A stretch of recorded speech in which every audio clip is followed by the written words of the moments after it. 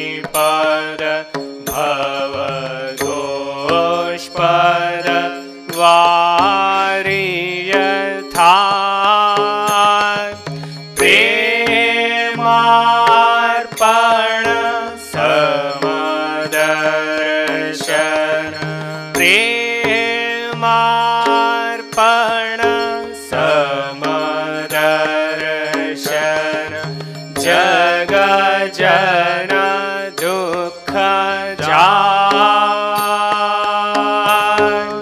नमो नमो प्रभुवाक्यमनातीत नमो नमो प्रभुवाक्यमनातीत मनोवचनैकाधार। प्रभु मनोवचनैकाधार।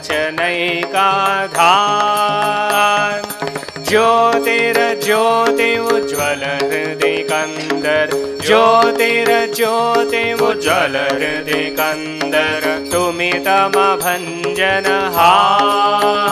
प्रभु तुमि तमभञ्जनहार नमो नमो प्रभुवाक्यमनादित नमो नमो प्रभुवाक्यमनादित मनोवचनैकाधार। प्रभु मनोवचनैकाधार। ज्योतिर्ज्योति उज्ज्वल हृदय कंदर ज्योतिर्ज्योति उज्ज्वल हृदय कंदर तुम्ही तम भंजन हार प्रभु तुम्ही तम भंजन हार दे लंग रंग भंग बाजी अंग संग मृदंग दे दे दे लंग रंग भंग बाजी अंग संग मृदंग गाय चंद भक्त वृंद आरती तोमार। गाय चंद भक्त वृंद आरती तोमार। जय जय आरती तोमार। हर हर आरती तोमार। शिव शिव आरती तोमार। Ah.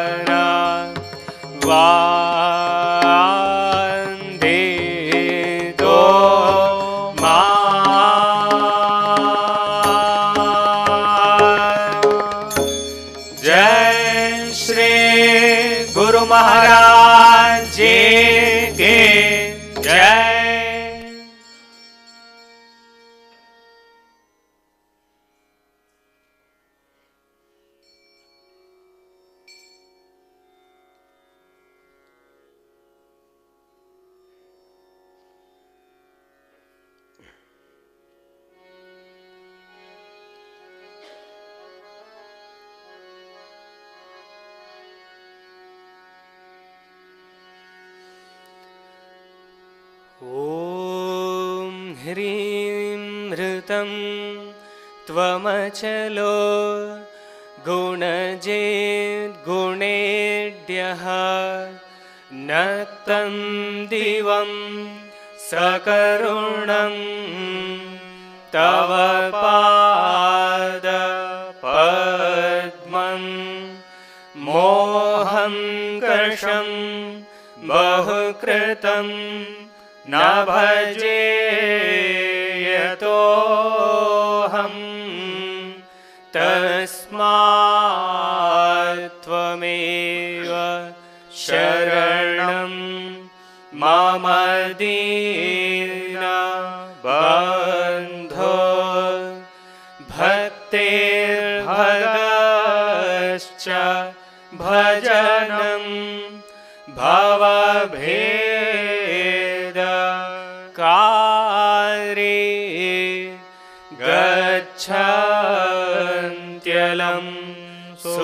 सुविपुलं गमनाय तत्त्वं वक्त्रोद्धृतोऽपि हृदये न च भाति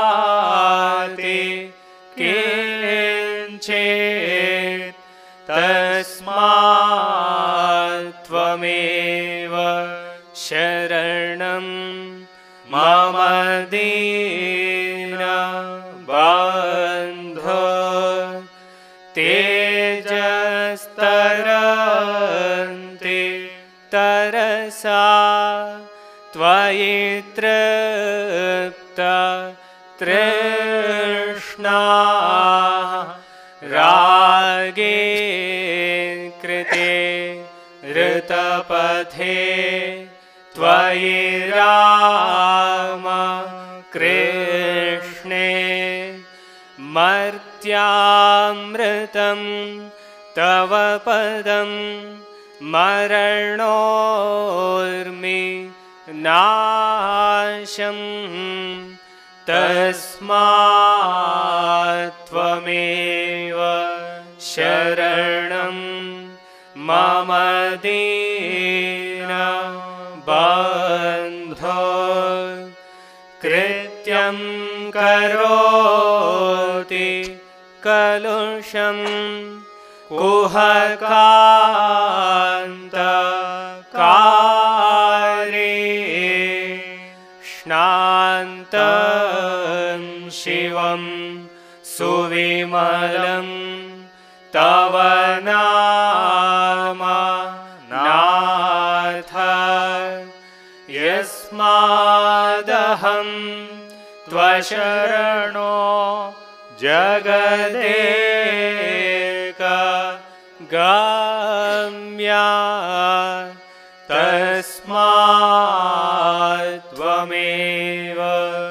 शरणं मामदी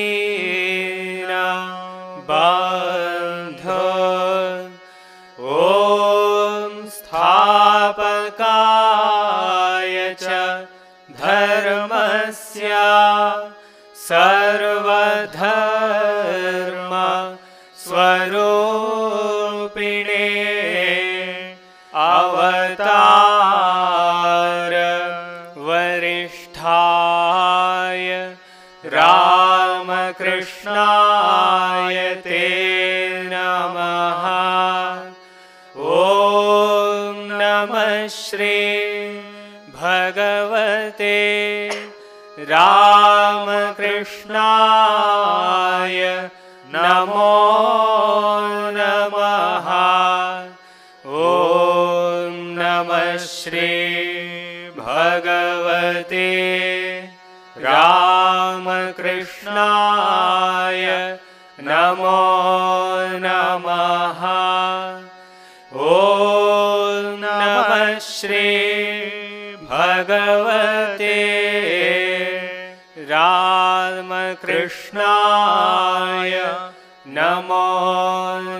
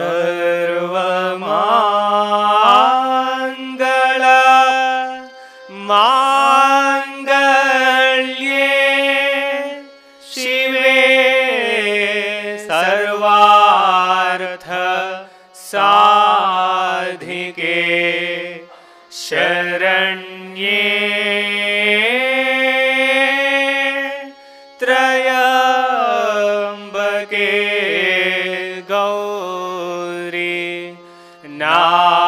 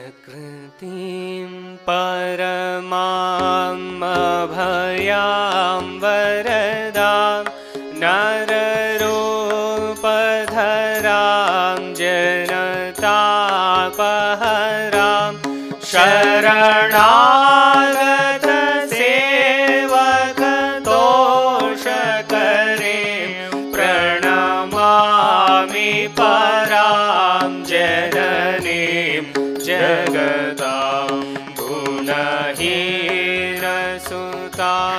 अपरा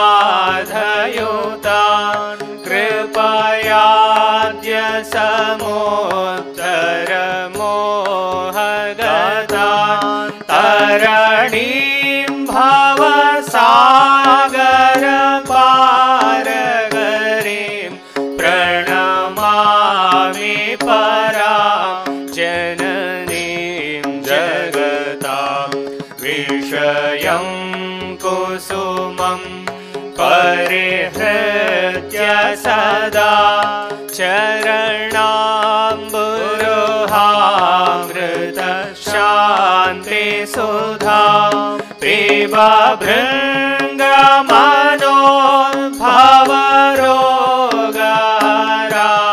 प्रणमामि परां जननी जगदा। कृपां कुरु महादेवी सुतेषु प्रणतेषु च चरणाश्रयदानेन कृपामयी नमोऽस्तु ते। लज्जापटावृते नित्यं शारदे ज्ञानदायिके पापेभ्यो नः सदा रक्ष। कृपामयी नमोऽस्तु ते। रामकृष्णगतप्राणां तन्नाम श्रवणप्रिया। तद्भावरञ्जिताकारां प्रणमामि मुहुर्मुहुः। पवित्रं चरितं यस्याः पवित्रं जीवनं तथा पवित्रता स्वरूपिण्यै तस्यै कुर्मो नमो नमः। देवीं प्रसन्नां प्रणतातिहन्त्रीं योगीन्द्रपूज्यां युगधर्मपात्रीं तां शारदां भक्तिविज्ञानदात्रीं दयास्वरूपां प्रणमामि नित्यम् स्नेहेन बध्नासि मानोस्मदीयं दोषान् अशेषान् सगुणीकरोषि।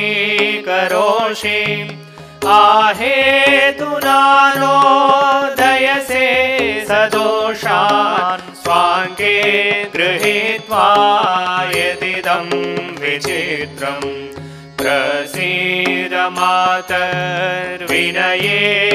याचे। नित्यं भव स्नेहवती सुतेषु प्रेमैकबिन्दुं चिरदग्धचित्ते विषिञ्च चित्तं गुरुना सुशान्तम्। जननीं शारदां देवी रामकृष्णं जगद्गुरुं पादपद्मे तयोः श्रुत्वा प्रणमामि मुहुर्मुहुः प्रणमामि मुहुर्मुहुः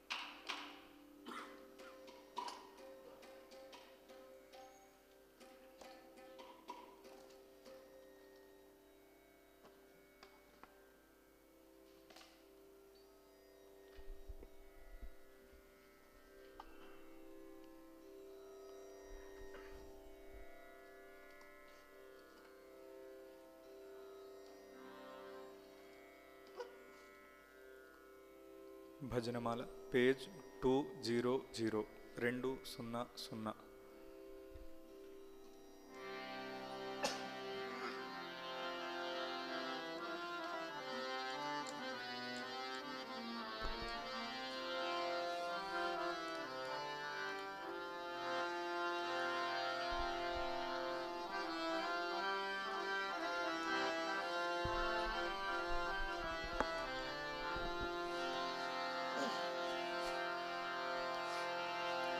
जय जय राम कृष्ण भुव मङ्गल जय जय राम कृष्ण भुवन जय। माता श्यामा सुत अति निरमा।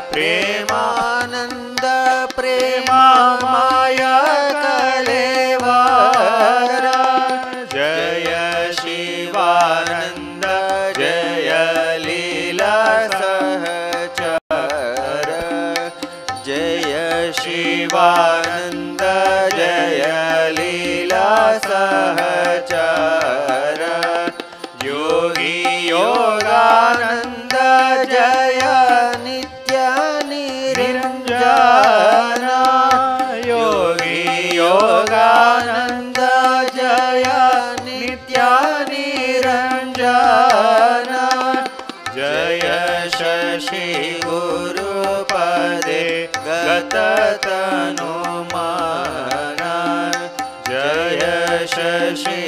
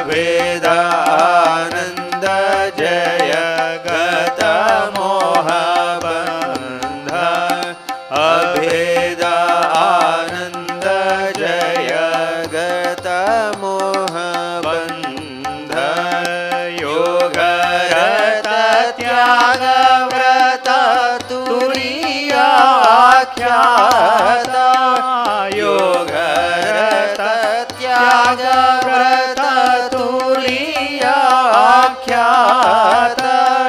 सरत सुधीर शांत येन गणनाथ शरत सुधीर शांत येन गणनाथ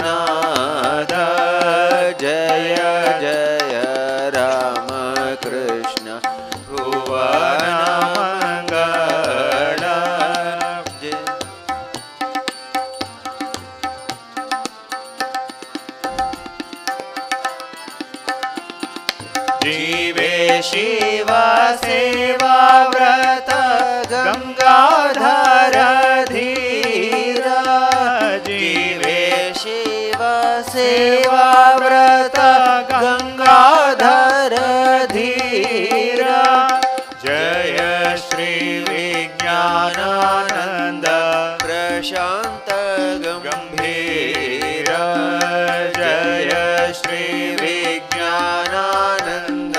प्रशान्त गम्भीर प्रवीणा गोपाल मातृसे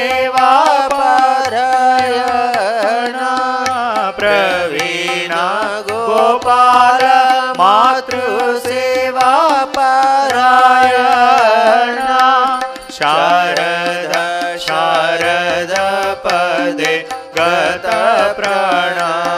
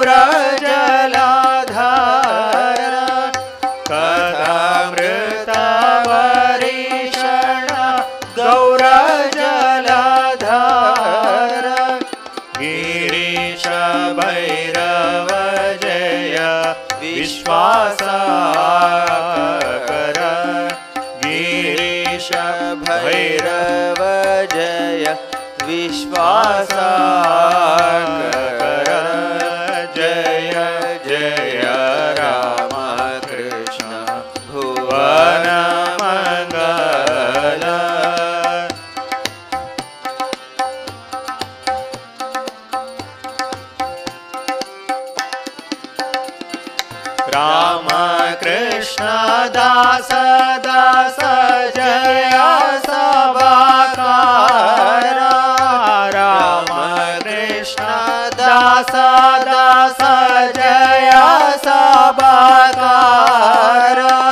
राम कृष्ण लीला स्थान, जय बार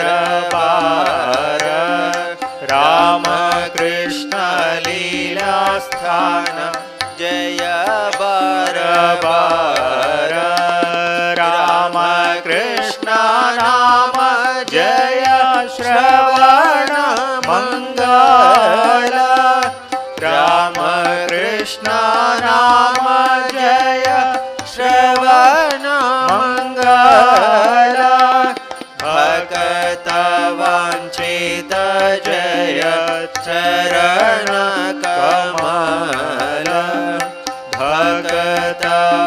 वाञ्छित जय चरण कमल।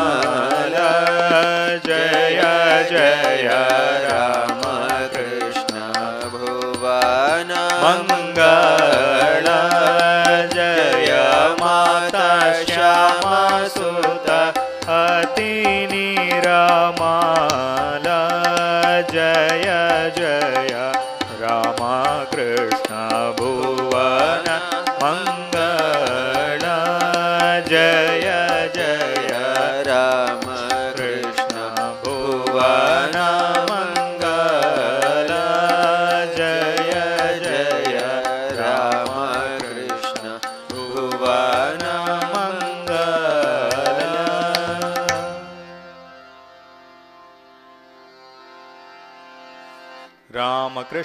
शरण, रामकृष्ण शरण रामकृष्ण शरण शरण, जय जय। रामकृष्ण शरण रामकृष्ण शरण रामकृष्ण शरण शरण। प्रभु रामकृष्ण शरण रामकृष्ण शरण रामकृष्ण शरण शरण।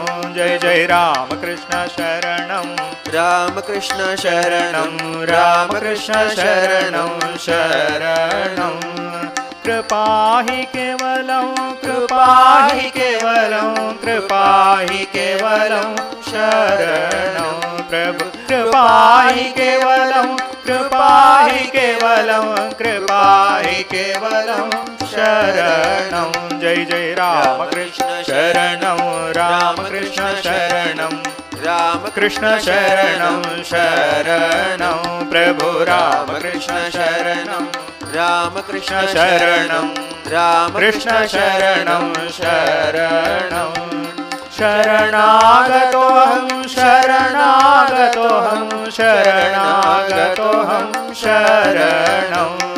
शरणागतोऽहं शरणागतोऽहं शरणागतोऽहं, शरणं।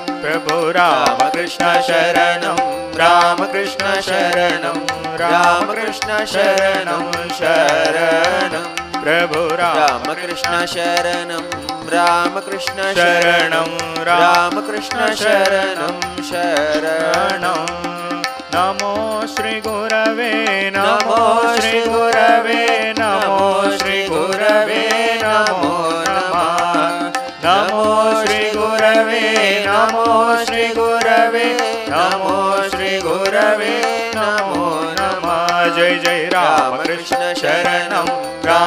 रामकृष्ण शरणं रामकृष्ण शरणं शरणं जय जय रामकृष्ण रामकृष्ण शरणं रामकृष्ण शरणं शरणं।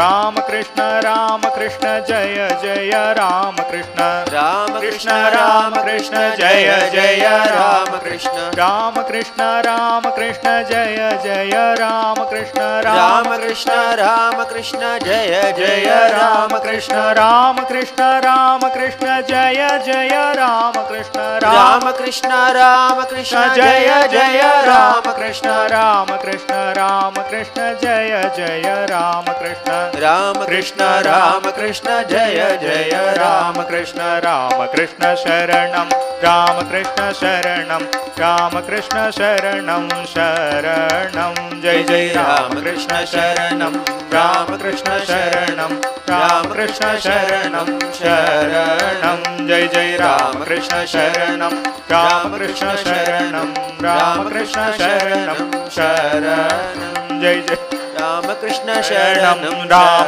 शरणं रामकृष्ण शरणं जय जय रामकृष्ण शरणं जय जय रामकृष्ण शरणं जय जय रामकृष्ण शरणं। शरणम्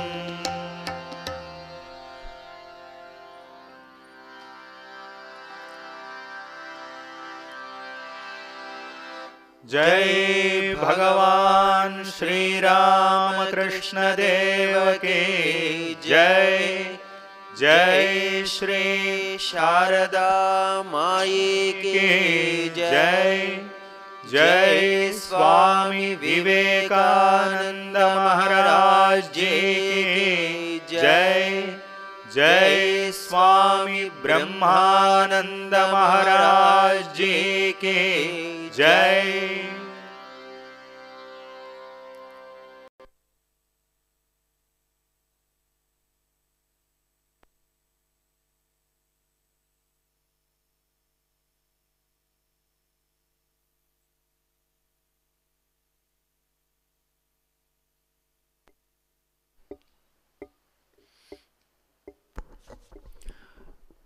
Now there will be a discourse on the life and teachings of Swami Brahmananda Maharaj at the temple basement hall. All the devotees can proceed to temple basement hall.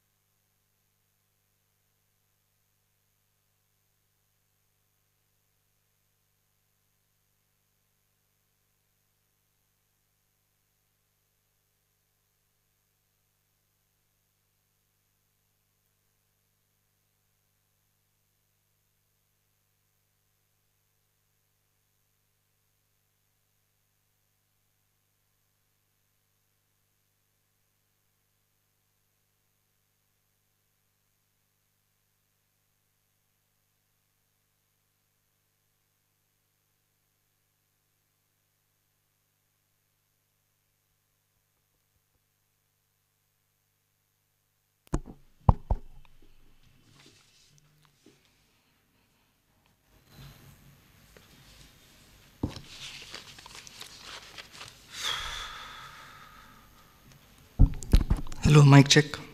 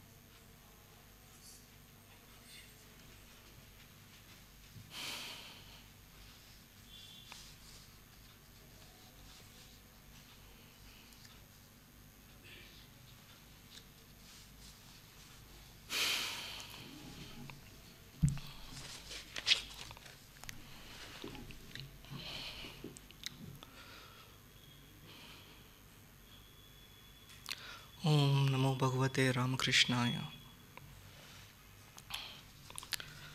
My humble pranams to everybody.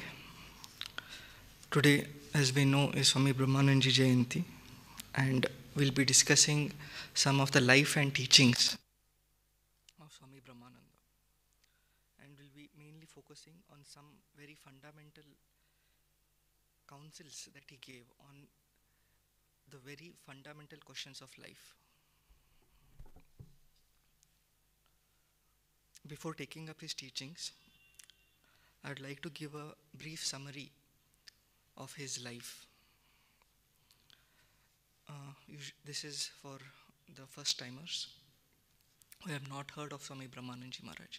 So, a brief sketch of his life. Swami Brahmanandji Maharaj's pre monastic name was Rakhal Chandra Ghosh. The name Rakhal in Sanskrit means a cowherd boy. Incidentally, if we read his biographies, uh, we'll come to know that there are many glimpses of his personality which is very devoted to Sri Ram, uh, Sri Krishna.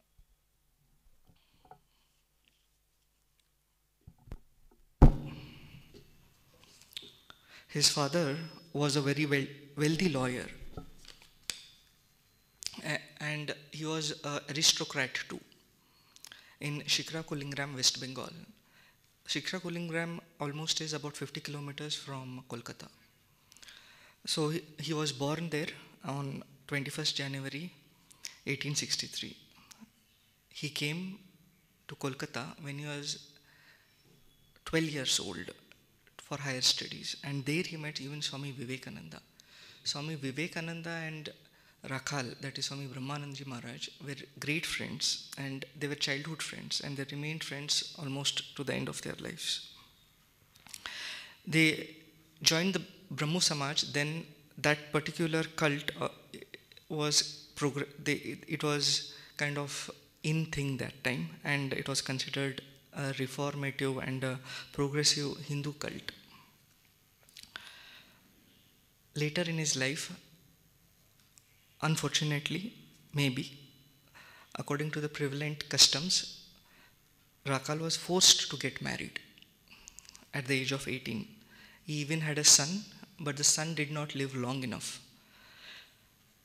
But fortunately, the wife of Swami Brahmanandji Maharaj was, uh, she was also of a very spiritual nature. So there were no further issues.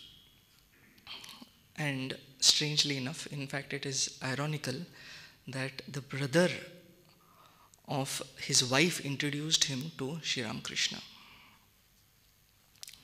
And strangely enough, Sri Ramakrishna also had prayed a few years back that he wanted a pure companion whom he can talk on spiritual topics because he was vexed on talking all the topics of this world. He was vexed to talk about family problems and all this kind of women problems, etc. So he prayed to Divine Mother, May I get a pure hearted companion whom I can talk on gods and spiritual subjects.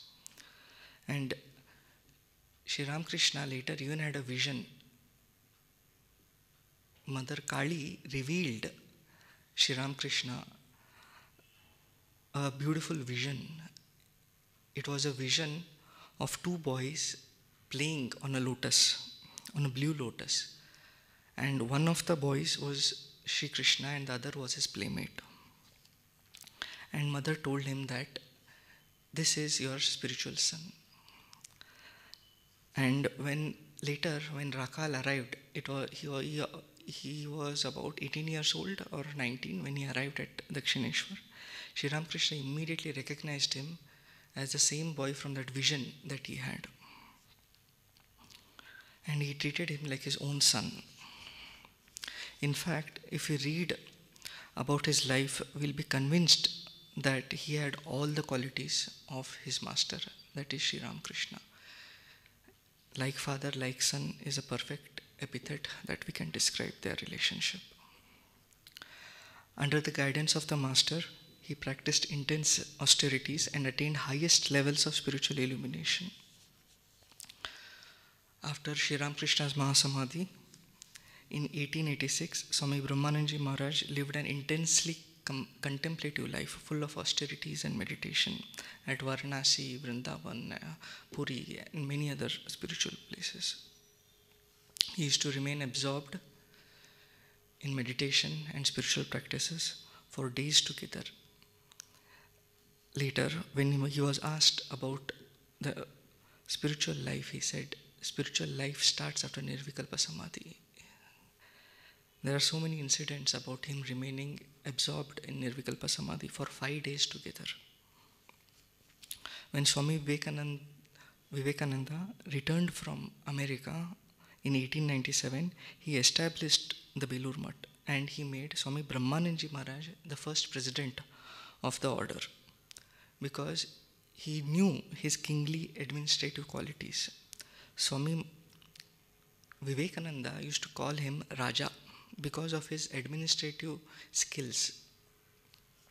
Since then, he was respectively called as Raja Maharaj or even Shri Maharaj. He was also one of the six disciples of Sri Ramakrishna who were called Ishwar Kotis. Ishwar Koti are souls who come when an avatara descends on earthly plane. During his tenure as a president, he was almost 21 years he, he was the president of our order. The order underwent huge expansion and great progress of serving God in men were taken up. And most importantly, he took care of the monks and he stressed on the contemplative lives of the monks. And this served as a counterbalance to all the activities that Ramakrishna Mission had taken up. Sadly enough, at the age of 59, Swami Brahmanandji Maharaj gave up his body after a brief illness on 10th April 1922. At the same place where his body is cremated in Belur Mutt, a beautiful temple now stands in his memory. You can see this in the presentation. That's the temple of Swami Brahmanandji Maharaj. So, this was a brief sketch of his life. Now, before diving straight into his teachings, let us, as sadhakas, as spiritual seekers, ask a few fundamental questions to our own selves. When we ask these questions to our own selves, these questions itself act as a starting point, it acts as a springboard, it acts as a segue to start a spiritual life. And when we ask these fundamental questions and when they are answered by a great personality like Swami Brahmanandji Maharaj, we will be able to resolve our own understandings of life, our own, in fact, misunderstandings of life and attain true value fulfillment and blessing. So, monumentally, who is better than Swami Brahmanandji Maharaj, the direct disciple of Sri Ramakrishna, to resolve our doubts or conflicts or insecurities? We need to understand that illumined souls stand on the cusp, on the borderline in between the formless and the form and name. They stand on the border, and from that vintage point, they'll be able to properly guide us. They stand on this cusp of creator and creation. So, these are a few questions that I have noted down, which may, which when we ask ourselves, may act as a springboard to spiritual life. So, all human beings, we, everybody, each one of us, at some point of our time, at some point of our so called evolution of human life, we will get a curiosity to know the whys and whats of life. This, this usually happens when the house of life do not interest us, interest us much. Because they do not interest. Why, why does the house don't interest us? Because by knowing the house of life, we, we are not that fulfilled. We are not satisfied. There always is a, something, there is something missing kind of a feeling which never goes, it is persistent, it nags us. It's an innate feeling of emptiness. Even if you know so many things, suppose you know how the world works, suppose you know how all the machines work, suppose you know even how the body works, suppose you're the best doctor in the world, and suppose you're the best psychologist in the world, suppose you know how exactly the world, our mind works. But still, after knowing all this knowledge, there will be still an unfulfilled feeling of incompleteness and void. So it is at this juncture that we ask the ultimate, we ask our so called realized men, and we seek, it is at this point where we ask the whys and the whats of life. It is at this juncture we become true spiritual seekers and stop being unconscious drifters in this so called river of life. Strange, very strange questions start popping up. Like, as you can see on the screen, why is this life the way it is? Why is this life so difficult to understand? Why is there so much suffering to some and so little suffering to others? And why is this inequality, in fact? And we even have some whats, like what exactly is the nature of life? What is the purpose or meaning of me being in this life? Why have I been born? And like basic questions like what is happiness? So these questions start emerging in your mind's eye. When you are fed up of the house, when you have known everything, but still there is this incompleteness that nags us. It is at that point these questions starts arising, and it is at that point we start being true spiritual seekers. And only when such existential questions start arising in our minds, we start seek we start seeking and awakening to the real spiritual dimension And basically, these questions are not found in our sense bound life. No schools, no teachers, no universities answer these fundamental existential questions. All the great holy men of India and the world are in their core seekers of these fundamental questions. Their main motive is to seek what is the main motive for them to seek? It is basically a deep sense of unfulfillment within, a deep sense of a kind of emptiness, you can say. And they are the real heroes because they are true to themselves. They want to answer, they want to answer that emptiness, they want to answer that ennui, they want to answer that anxiety. They want answers to them. They just don't hide behind a particular mask or they don't hide behind some particular religion, sect, or any kind of comforts of life. They want to know the truth at any cost. They go to any extent. They don't really care about recognition. They don't even care about some kind of contribution to the society or any kind of creative fulfillment. They just want answers to these fundamental questions. They seek the truth in all their frightening consequences. When you start seeking truth, a lot of unconscious, you can say, monsters come up and they are boldly facing these kinds of unconscious monsters, your innate animalistic reptilian tendencies. So, we can easily say that the road to truth is not laid of roses. It is, there are enough monsters that you need to face. And Swami Brahmanandji was no exception. When he came to Sri Ramakrishna, he also had those fundamental questions like what you see on the screen. He was married, he had, and he actually didn't want to get married. His father was forcing him to come back, and he wanted to live a spiritual life. And these tremendous conflicts, these insecurities, these inner struggles, turmoils, he had everything. And it is then that he came to Sri Ramakrishna.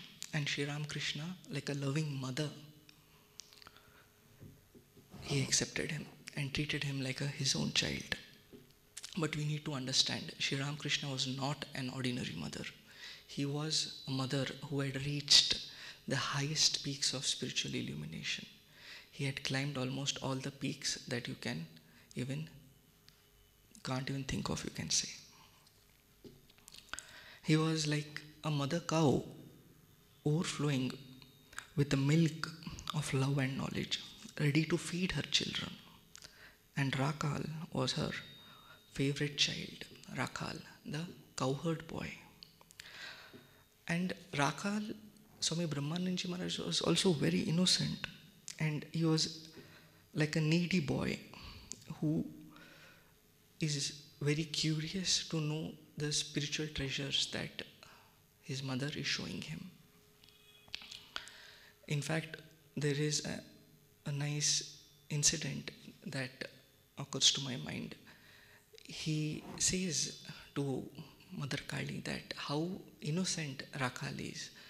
When I pass away, who will look after this child? And you need to understand, Rakhal was not a child. He was, by, if you think about his age, he was almost 21 years. So it was him actually who was taking care of Sri Ramakrishna, providing service. But it is this motherhood that emanated from Sri Ramakrishna whenever he saw Rakhal. And he used to play all the games that a small child plays with his mother.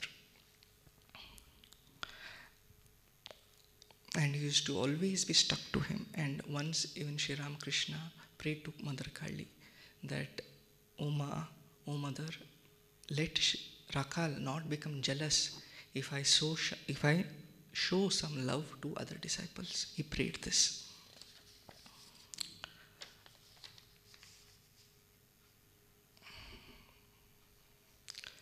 And how to get these fundamental questions answered? So we go to a spiritually illumined soul and we ask these fundamental questions like what is life, etc. But before we see how Brahmanandji has answered these fundamental questions, let us take a few minutes to understand a few basic concepts about spirituality. I wanted you people to understand these fundamental concepts because if you really want to understand the deeper significance of his answers, we need to know these concepts. So, the first, there are three concepts. The first concept is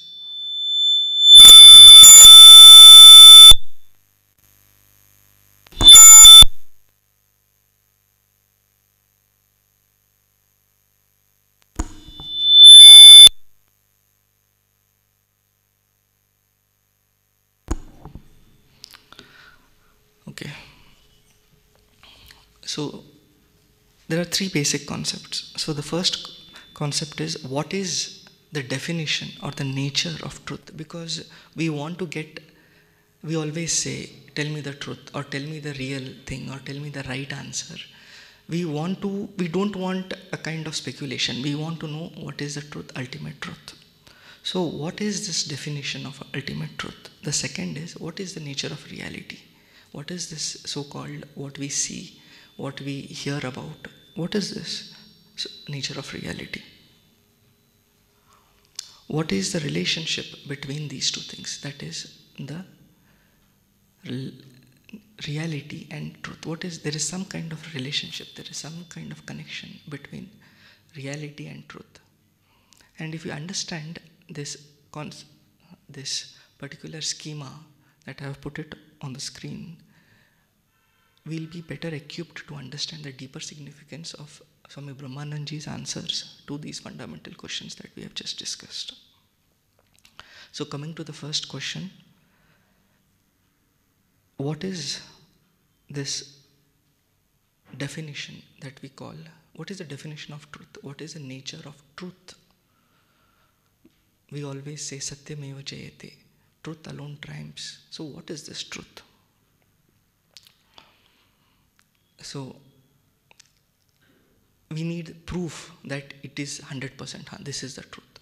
So, Nagarjuna was a great Buddhist philosopher. He was a second century philosopher. And he had a great monumental thesis that he proved that an entity, when we say this entity is true, it should fulfill two basic conditions. So, what are those basic conditions when you say this is true or this is the ultimate truth?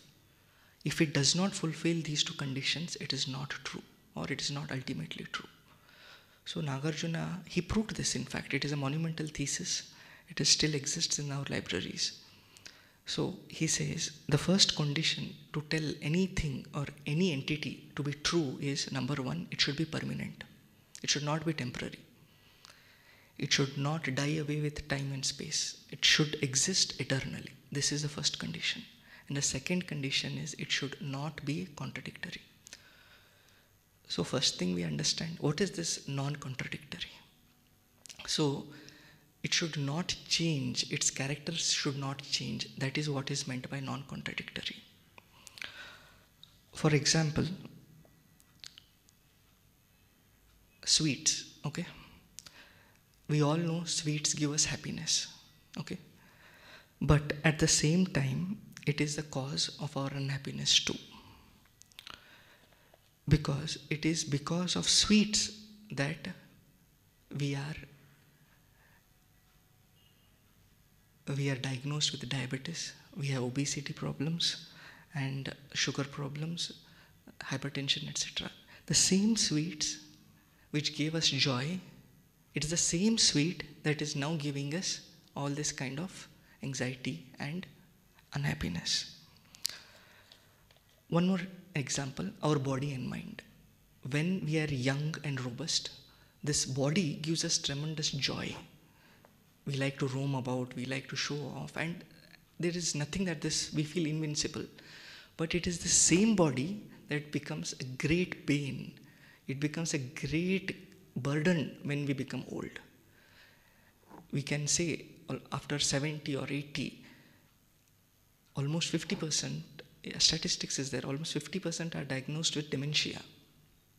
There are so many geriatric problems, so many senile problems. All of this is because of our same body which we loved, which gave us so much joy. But it is the same body which is the cause of misery now. So this is what is meant by contradictoriness. And if you say something to be to, to be true, then it should be permanent and it should not change. That is, it should not be contradictory. The second concept is what is the nature of reality? So Vedanta says there are three levels of reality. As we can see in the screen, the highest level or the spiritual level is called as Paramarthika Satta. And the second level, when we come down, it's the manifestation of spiritual level itself, but when it comes down to matter, it manifests as pratibhasika satta or mental realm. And when it still comes down, it manifests as physical reality or vyavaharika satta. So, in our layman terms, we can say it as the highest is spiritual reality, then there is mental reality, and then there is physical reality. I need not explain these terms, The- they are self explanatory. Uh, physical reality means what we can see, what we can hear, what we can touch. Or the five senses acts in physical reality. Mental reality are our thoughts, our emotions, our dreams. Spiritual reality is something which we have not seen. So it is a hypothesis right now. And coming to the third concept, what is the relationship between this truth and this reality? So, how do you relate these realities and how do you relate ultimate truth when we have already given a definition that truth means permanent and it should not change, it should not be contradictory. So, we can say in the spiritual realm or in the spiritual uh, reality, the definition of truth holds good. Any spiritual entity is by nature permanent.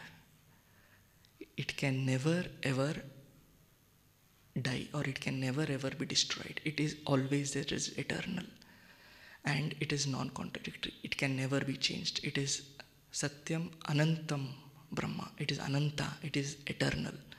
It can never ever have two characteristics. It does not change its characteristics as a chameleon does. But when we come down, when we come to the manifestation of the spiritual reality, there is where we can say the definition is invalid. It is from that level down that these the so-called definition of ultimate truth does not hold good. Because it is but you can't say it is invalid altogether. It is temporarily invalid. So what does it mean temporarily permanent or temporarily non-contradictory? Let us take the same example. Sweets. So until you get diabetes you are happy. But if you get th- that is there is a condition there is a time frame. There is till you get happiness sweet gives us happiness. So there is a temporary fulfillment there is a temporary truth involved. Similarly our body and mind until we get old body is a great source of pleasure great source of joy. But it is only at this particular time frame. After that it goes downhill.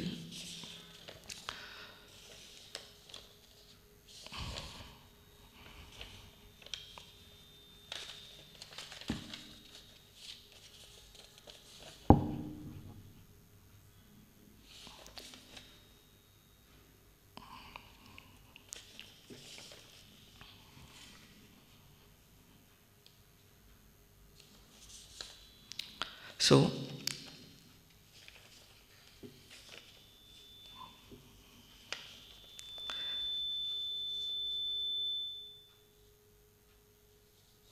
Okay, so after understanding these fundamental concepts, let us just know one particular law, not much, that is, the law is the higher the level of reality that you're established in, that is, if you're in spiritual level, you can control this mental and physical level. If you're in mental level, you can control physical level. This is just a basic law with this knowledge, let us just conclude uh, with only two teachings that Brahmanandji gave and answered these fundamental questions. So in Belur Mutt, one devotee asked Maharaj, he asked the same questions that we have discussed. He asked Maharaj, why is there so much suffering in life and why is there more suffering to me and less suffering to others and why this inequality? So his answer was wonderful and I would like to read it out. So he says, Do you know the nature of ordinary men? He seeks only pleasures, joys, and diversions. And he makes this mistake from the very beginning. 99% of those who seek happiness do not know what it really is. This, they grasp at whatever they find near at hand and believe that they have got the thing that they seek. Then, when they're disappointed, they take up something else and again they fail. This is the curse of their lot. But see the foolishness in it. They are disappointed again and again, still they will not change their course. They will not take up the right path. They pass their lives receiving blow after blow and brooding over their destiny. In fact, the very, they will encourage others also to follow their path and sometimes go to great extents to bring down others to their paths or their understandings of life. Sri Krishna used to compare them to a camel. A camel will not take good grass even when it is close by. It knows very well that thorny grass makes the mouth bleed, but still it insists on eating it. In the same way, man suffers because of the wrong thoughts and his wrong desires. These people can never be awakened. He says these people can these people who have this strong likes and dislikes, strong conditioned minds, they can never be awakened or changed, either by their own sorrows and miseries of life or by high, lofty ideals that we are speaking right now. They think that they are going on to live eternally and fondly imagine that without them the world cannot go on.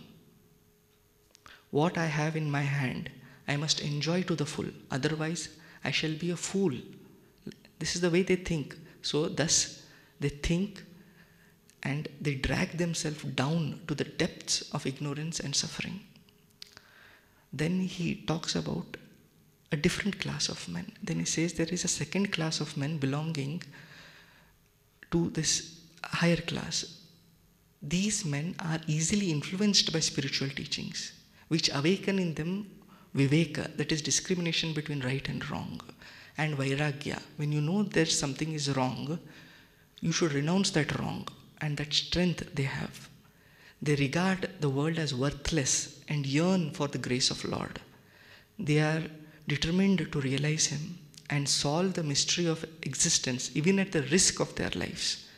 Such a firm resolution that they take and they begin their sadhana and succeed in the end.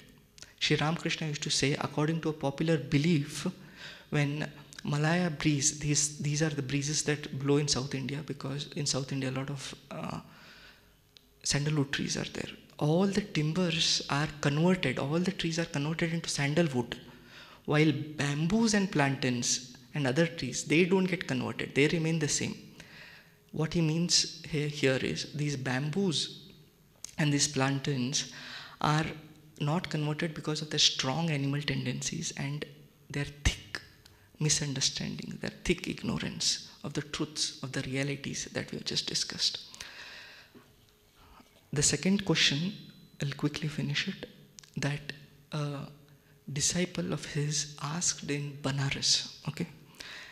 He asked this what kind of question? Like he asked, what is life? And what is the purpose of my life, why I have been born.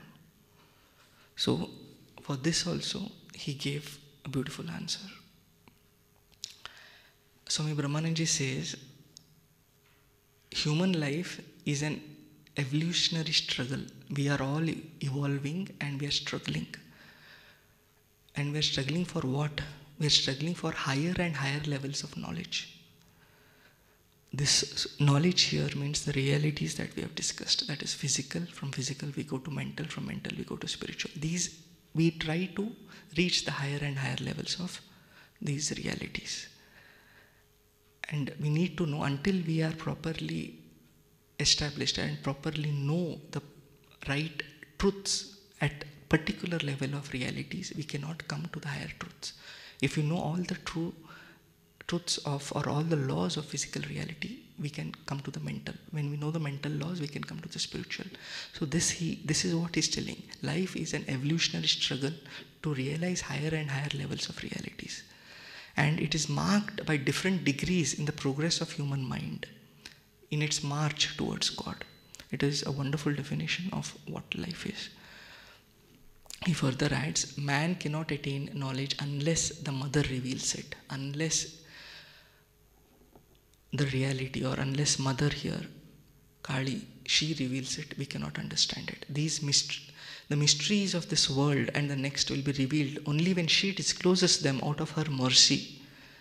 The intellect, as, our, as we ordinarily understand, is not the real intellect. Its area, its range is very limited. What he means by intellect is buddhi. Buddhi is an intuitive spiritual faculty. It is pratyakatman. It is a spirit that is inside us. It should awaken.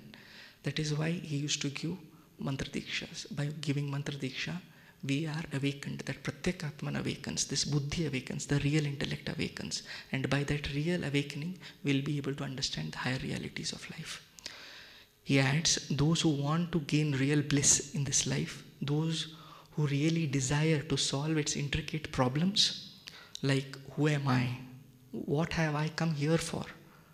Why am I suffering so much? Why does one man attain to godhood and another man remain a brute? Those who desire these answers to the problems, to these problems, have one and only one duty what is that duty? How to solve these problems? How to get the solution? There's just one and the only one duty is to strive to realize God by all possible means. Here, by God, he also means self realization.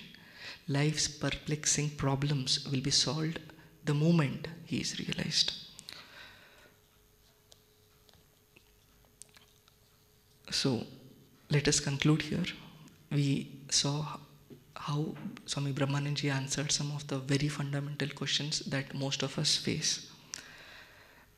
And he gave us wonderful solutions. Let us pray to Swami Brahmanandji Maharaj, Swami Vivekananda, Sri Ramakrishna, and Holy Mother to give us strength, to give us Viveka that he was talking about, to give us Vairagya, so that we can renounce the wrong things in life and attain the highest reality, that is spiritual reality. Om Shanti Shanti Shanti Hari Om Tat Sat Shri Ram Krishna Arpanamastu.